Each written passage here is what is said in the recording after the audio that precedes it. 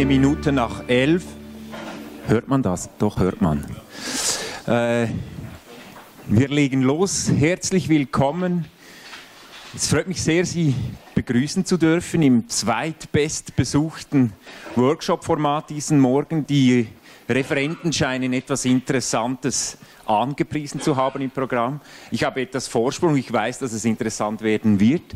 Äh, wir haben heute Morgen äh, jetzt drei Formate, dreimal eine halbe Stunde. Wir werden zu Beginn äh, mal darüber sinnieren, was das überhaupt ist, Abhängigkeit von IT-Anbietern. Wir haben diesen Titel jetzt mehrere Jahre gewählt gehabt, aber eigentlich nie darüber uns Gedanken gemacht oder nie ein Referat dazu gehabt, gehabt was ist das eigentlich, woher kommt.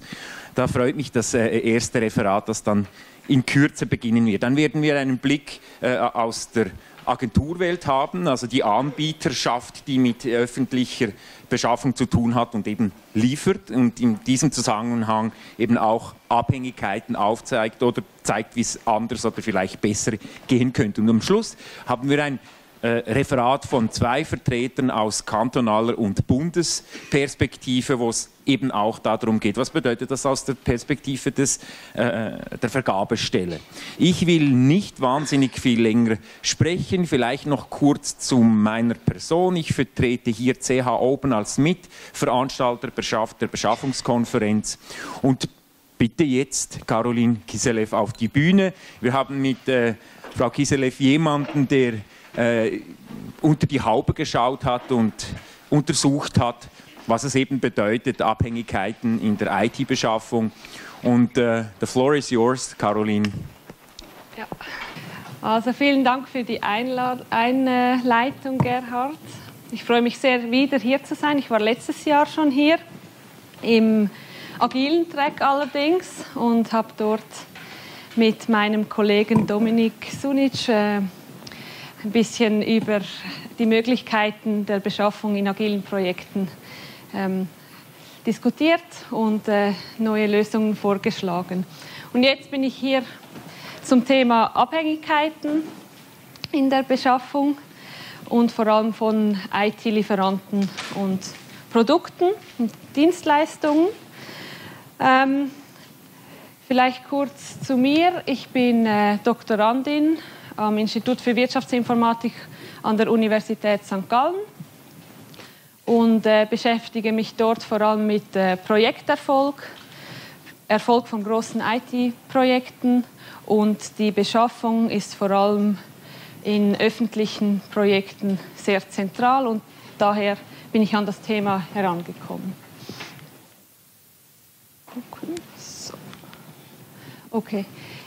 Die Ausgangslage ähm, war bei uns so, dass wir ähm, gesehen haben, dass äh, es eine zunehmende Digitalisierungswelle ähm, ja, gibt, die eigentlich nicht abnimmt. Es geht immer weiter. Es werden immer mehr veraltete IT-Systeme abgelöst im äh, öffentlichen Sektor, aber auch im privaten Sektor.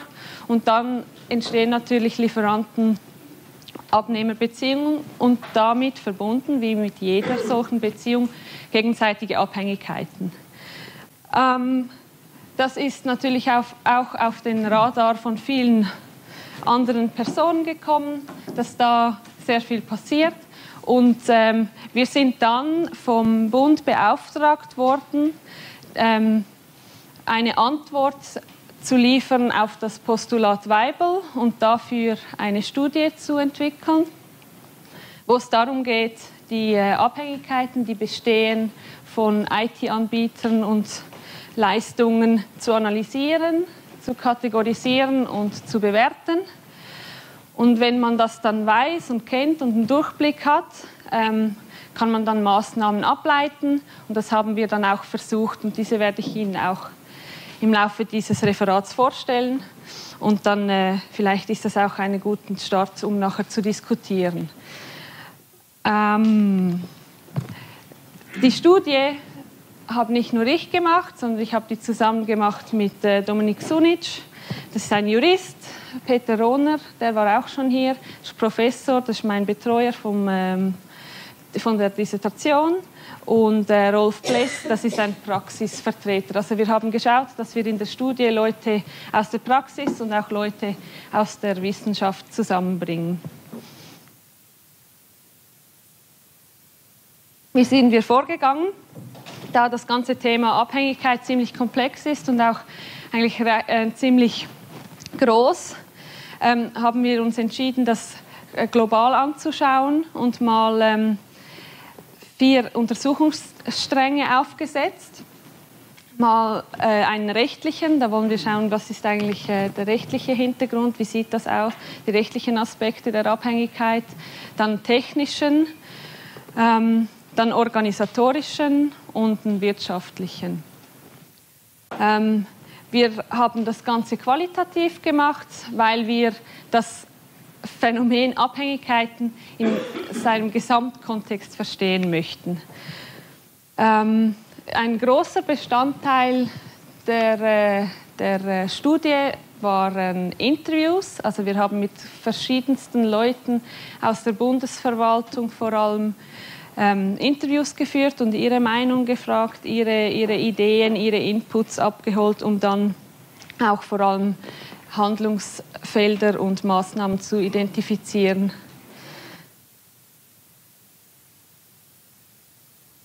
Am Anfang haben wir uns mal angeschaut, was sind eigentlich die Ursachen von Abhängigkeiten.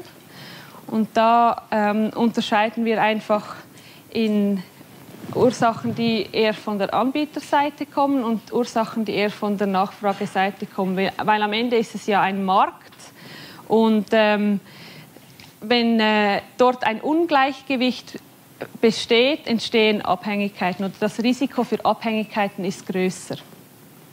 Jetzt anbieterseitig heißt das, vor allem wenn es wenige Anbieter einer Leistung gibt, ähm, entstehen Abhängigkeiten. Oder wenn es eine große Marktmacht gibt von einzelnen Anbietern. Ähm, dann aber auch Geschäftsmodelle. Geschäftsmodelle können auch Abhängigkeiten auslösen, vor allem wenn es darum geht, wenn Leistungen gebündelt werden oder ähm, bezogen auf Lizenzmodelle ähm, und dann äh, werden oft auch Standards vorgegeben. Das geht dann mehr in die technische Richtung, wo eben ähm, dann äh, der Anbieter etwas vorgibt und man ist abhängig vom Anbieter oder man wird abhängig, wenn man sich darauf einlässt. Ähm, nachfrageseitig gibt es ähm, oft das Problem, dass die Anforderungen sehr spezifisch gestellt werden. Das heißt dann, dass man eben nicht mehr so viel Auswahl hat und dann beschränkt man selbst als Nachfrager den Markt. Dann äh, auch von, der IT selbst her, halt wenn, wenn äh, das System nicht so modular aufgebaut ist, wenn man nicht einzelne Komponenten beschaffen kann, wenn man immer ein Riesending beschaffen muss, dann hat man auch weniger Auswahl in dem Sinn. Und ähm, ein andre, eine andere Ursache sind auch fehlende Kompetenzen von Mitarbeitern auf beiden Seiten, sowohl auf IT als auch ähm, auf der Beschaffungsseite. Das heißt, oft ähm, ist sehr viel Wissen da, aber man bringt es irgendwie nicht zusammen und dann äh, findet man nicht die, die, ideale oder optimale Lösung. Ähm, und was noch dazu kommt, oft ähm, entstehen auch, äh, entstehen auch Abhängigkeiten, wenn die Investitionskosten hoch sind oder die Projektkosten generell. Das heißt, man ähm, möchte dann nicht eine Beziehung beenden, weil es eben schon so viel gekostet hat und dann ist, bleibt man oder begibt man sich halt in diese Abhängigkeit. Ähm, dann haben wir verschiedene Abhängigkeitstypen identifiziert. Es sind hier fünf technische, betriebliche, rechtliche äh, Abhängigkeiten bezogen auf Kompetenzen und äh, wirtschaftliche Abhängigkeiten. Das sind einfach so Perspektiven auf Abhängigkeiten ähm, oder auch Orte, wo Abhängigkeiten sind. Also wenn man technisch anschaut, ist es vielleicht irgendwo, wo die Schnittstellen vorgegeben sind oder wo es ähm, Kompatibilitäts- oder Integrationsvorgaben ähm, gibt oder betrieblich, ähm, wenn zum Beispiel Mitarbeitende einfach nur mit irgendeinem System arbeiten können und nicht mit einem anderen.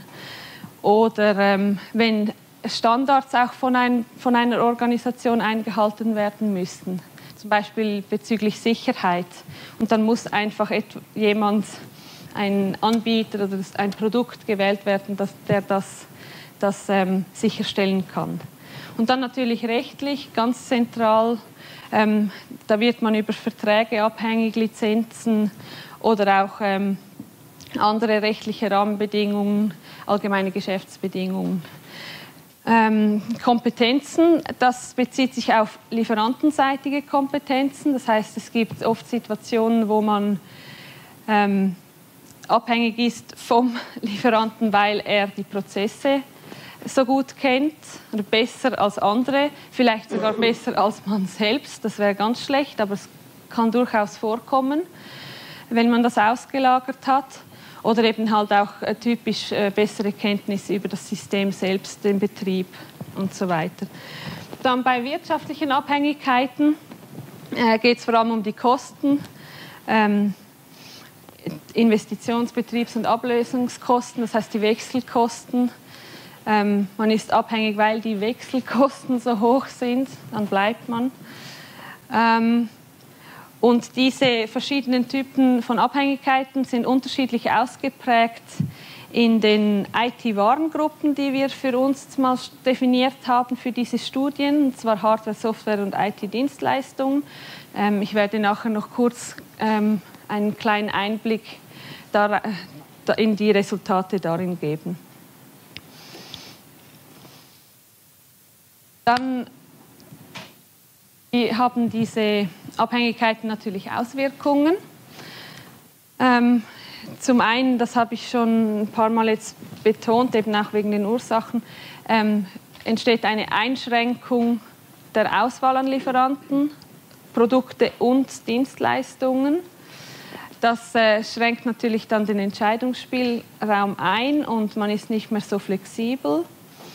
Ähm, was auch passiert, ist, dass äh, halt schlechter geliefert wird. Es ist ja nicht so, dass die Anbieter das nicht wissen, dass man abhängig ist von ihnen. Also oft ist das denen bewusst und dann strengen sie sich vielleicht nicht mehr so an.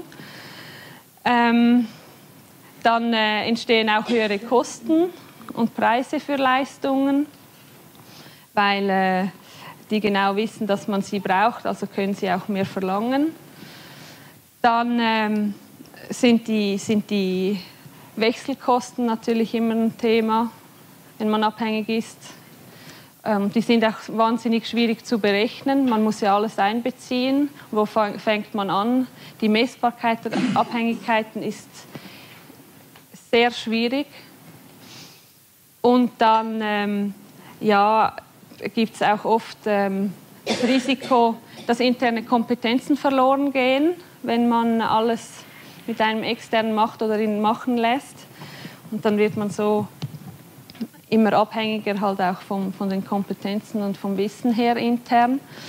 Ähm, und dann, äh, was auch jetzt ähm, in den Interviews ein paar Mal ähm, vermerkt worden ist, dass eben auch die Innovationskraft abnehmen könnte. Also, und das hat auch damit zu tun, dass die, dass die ähm, die Lieferanten, die ja wissen, eben, dass man abhängig ist, dass sie sich dann nicht mehr so anstrengen oder eben auch, wenn, wenn das Know-how intern immer mehr nach außen läuft.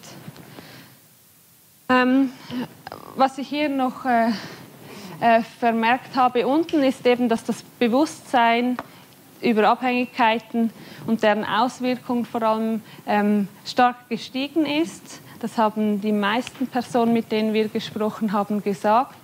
Ähm, das ähm, ist äh, sicher gut und ich denke auch nötig, um äh, in der Digitalisierung weiterzufahren und eben all die alten Systeme erfolgreich abzulösen und neue Beziehungen einzugehen. Wir haben auch einen Blick auf private Organisationen gerichtet. Ähm, grundsätzlich sind die nicht besser vor Abhängigkeiten geschützt. Äh, der Unterschied liegt vor allem in den rechtlichen Rahmenbedingungen. Also eben, ähm, Sie, sie haben weniger oder keine Handlungsbeschränkung durch das öffentliche Beschaffungsrecht. Ähm, sie haben weniger vom Gesetz her verursachten Aufwand und äh, vielleicht auch weniger Druck aus der öffentlichen Diskussion, weil es sind dann andere Gelder, die potenziell irgendwie verschwendet werden oder an die falschen Lieferanten gezahlt werden. Ähm, was äh, noch äh, interessant war zu sehen, ist, dass doch, äh, auch wenn man zu Beginn meint, ja, die Unterschiede sind riesig, ähm, ziemlich viel äh, Potenzial gibt, voneinander zu lernen. Also beidseitig. Ähm, ich habe sehr viele Best Practices gesehen, ähm, die sehr gut passen, also um mit Abhängigkeiten umzugehen, die sowohl im privaten Sektor passen als auch im, im öffentlichen Sektor. Und ich glaube, das ist wichtig, vor allem wenn man äh, die Abhängigkeiten reduzieren möchte und Möglichkeiten sucht, dass man nicht nur im eigenen Sektor schaut, sondern auch mal in den anderen Sektor. Äh, hier ist gerade noch ein guter ähm, Zeitpunkt, um äh, das öffentliche Beschaffung hinsichtlich Abhängigkeiten anzuschauen. Ähm, wir denken, das öffentliche Beschaffungswesen ist sowohl Ursache und Treiber als auch Chance im Bereich Abhängigkeiten. Also sicher ist es so, dass das äh, Beschaffungswesen ähm, die Flexibilität einschränkt. Und äh, oft wurde uns gesagt, dass, wir, dass, dass dadurch, dass man, wenn man dann einen Zuschlag erteilt hat, man in diese Beziehung kommt und irgendwie nicht mehr von dieser loskommt, dass man dann irgendwie wie ausgeliefert ist und dann ist man, darum ist man abhängig und dann ist man abhängig. Aber ähm, es ist natürlich nicht nur das, es sind ja auch noch andere Dinge. Und man kann auch abhängig werden, wenn die Beziehung anders entsteht.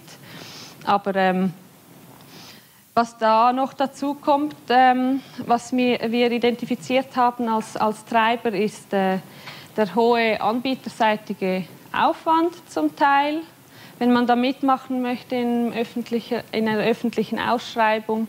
Ähm, und so kann es zu einer Wettbewerbsreduktion kommen, weil sich dann natürlich weniger bewerben. Ähm, und die Chance ist, ähm, dass man während der Beschaffung ähm, schon über passende Instrumente, über richtige Entscheidungen, über Überlegungen, die man sich macht und dann Maßnahmen, die man ableitet, auch schon ähm, die Abhängigkeiten vorsorglich reduzieren kann. Also wenn man da den richtigen Beschaffungsdesign auswählt, ähm, hat man ziemlich gute Möglichkeiten, schon in dieser Phase zu schauen, dass es nicht ähm, zu schlimm wird mit den Abhängigkeiten. Ähm, aufgrund der Zeit möchte ich jetzt nicht mehr auf alle Resultate oder Muster der identifizierten Abhängigkeiten pro Warengruppe eingehen. Äh, wir haben da unterschiedliche Abhängigkeiten identifiziert.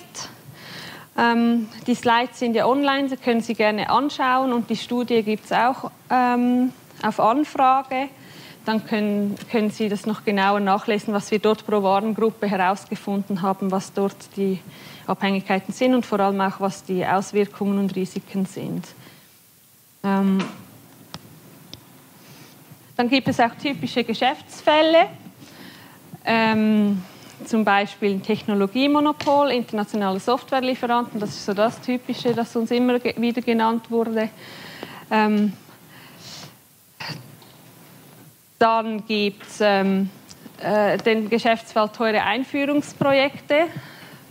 Das bezieht sich sowohl auf fachspezifische als auch auf standardisierte Lösungen, ähm, wo dann halt vor allem auch das Projekt selbst sehr stark vom, oder der Projekterfolg sehr stark vom externen Anbieter abhängig ist. Und dann der dritte Geschäftsfall, den wir identifiziert haben, ist ähm, der der Leistungsbündel, der oft vorkommt. Eben dass Hardware, Software, IT-Dienstleistungen alles kombiniert wird, dass gewisse Anbieter eigentlich nur das Kombipaket anbieten und dann ähm, äh, Redundanzen entstehen oder eben auch äh, Synergieeffekte ähm, fehlen, weil es irgendwie Doppelspurigkeiten gibt. Ähm, hier ist vielleicht noch zu sagen, dass sobald so ein Geschäftsfall läuft, ist es ziemlich schwierig, wieder günstig da rauszukommen.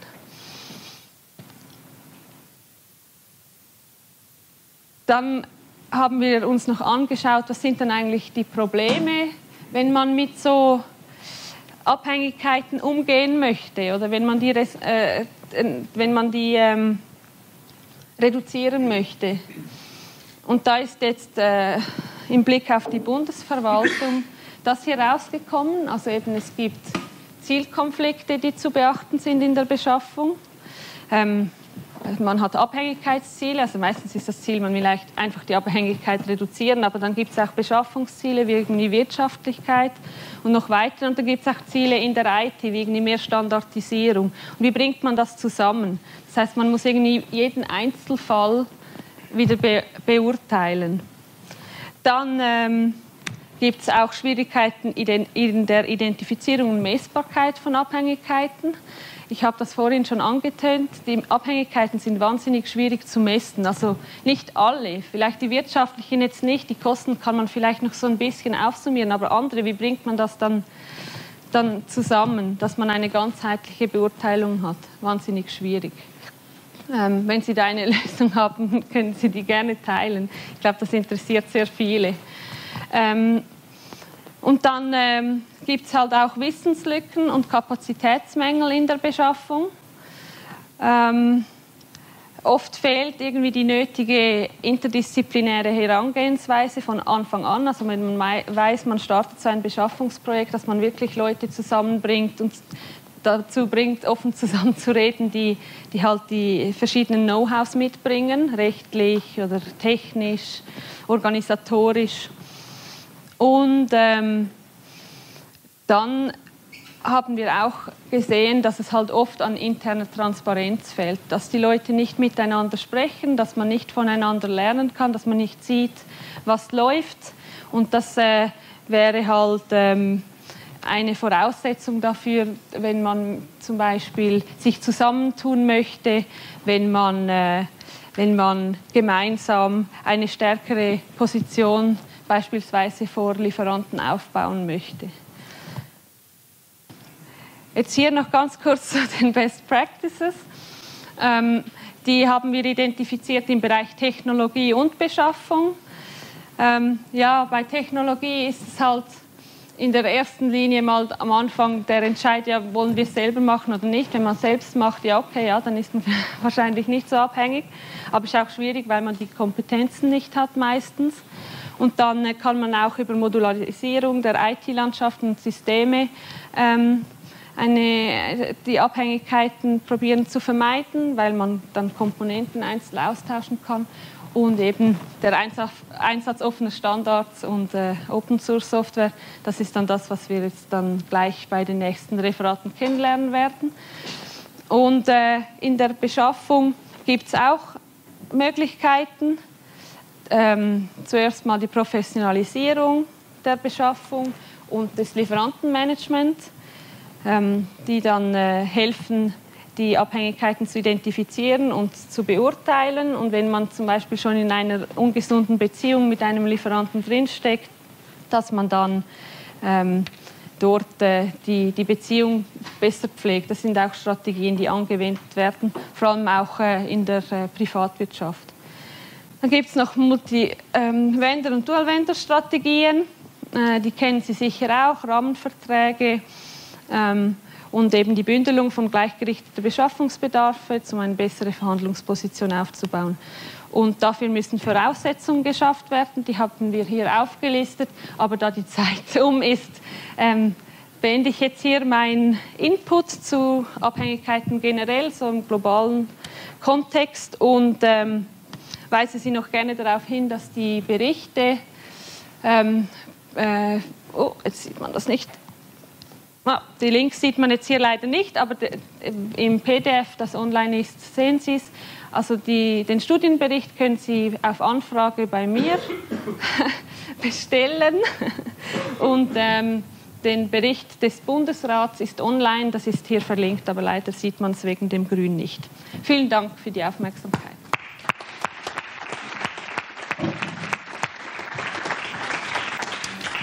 Herzlichen Dank, Caroline. Äh, wir haben sicher Zeit für ein, zwei Fragen. Die ganz erste, die habe ich. Ich habe heute Morgen gehört, ähm, Misserfolg, und das ist im Zusammenhang auch von Abhängigkeiten, von schwierigen Projektsituationen, es mönchelet, hat die Regierungsrätin gesagt. Ähm, müssten wir einfach nicht besser unter Vettern äh, Beziehungen haben, dass es besser wird? Dass es, äh, war das kein Vorschlag? Nein, das geht natürlich nicht. Aber es ist schon so, dass ähm, es oft an den Menschen liegt, und daran, wie man miteinander kommuniziert. Aber äh, man darf äh, da nicht, äh, man muss offen bleiben, man darf nicht seine Freunde bevorzugen, das ist natürlich nicht gut. Aber äh, vor allem intern, intern ist es ja vor allem wichtig in Projekten, dass, dass es auch dort funktioniert, dass man dort sich klar ist, was man braucht und dass man dort jetzt eben in Beschaffungsprojekten ähm, das beste Know-how zusammenbringt und alle miteinander sprechen und eben auch die Zielkonflikte sehen. Ja. Bestens. Eine Frage? Ich denke, für eine bis zwei reicht. Da ist eine.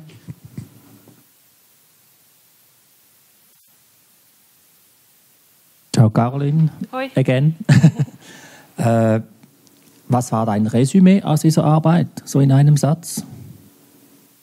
ich war ja einer der Interviewer und ich möchte gerne was mitnehmen heute. ja, also für mich oder für uns alle war das Projekt wahnsinnig spannend und es war vor allem spannend zu sehen, dass das ganze Thema Abhängigkeit viel komplexer ist als man vielleicht von Anfang an denkt. Es geht eben nicht nur um die technischen Abhängigkeiten, es geht nicht nur um die rechtlichen Abhängigkeiten oder um die wirtschaftlichen, sondern es geht irgendwie um das Gesamtpaket und man muss mit allen Abhängigkeitstypen irgendwie zu Gang kommen. Das ist das. Jetzt habe ich hier noch eine letzte Frage. Ilse Benecke, ich komme aus Deutschland, andere, ja. etwas andere Landschaft, aber im Föderalismus sehr ähnlich. Ja. Ähm, die Frage, die ich mir stelle, ist, ist Zentralisierung des Beschaffungswesens oder Einkaufs im Hinblick auf Abhängigkeiten für Sie hilfreich oder eher ein Problem? Ah, das ist eine gute Frage.